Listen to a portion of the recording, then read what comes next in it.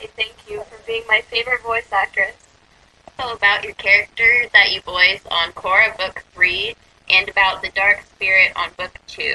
We understand you can't say much. We don't want spoilers or anything, just a few teases. Big smiley face. Thank you! Exclamation point, Chris. Exclamation Oh, point. that's a sweet message. Okay, I can't say anything. I already opened my mouth about the Dark Spirit, which I was supposed to say what character was. I didn't know that until later.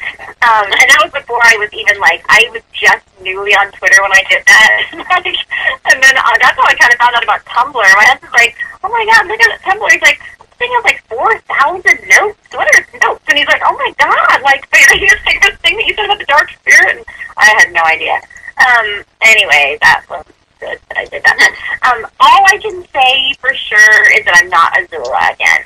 So I know a lot of people like were really wanting her to come back. I hope she. That would be awesome if she comes Oh back. I mean, gosh, yes. you know, they kind of left it open, like she didn't die, kind of, you know. So, Yeah. I, so anyway, um, she could come back, but not as far as I know. So, but so I'm doing two new characters. I did that Dark Spirit character, and then I just booked like a brand new character.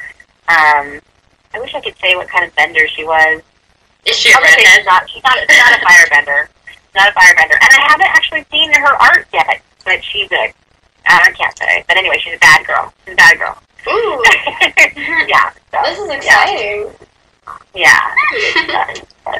I, I, uh, yeah, I don't know. I was about to tell another story that I probably can't tell because it gives away something. So anyway. Oh. and this is why I, this could have been really bad, you guys. I'm a huge big mouth, and I, I think I did pretty well. So.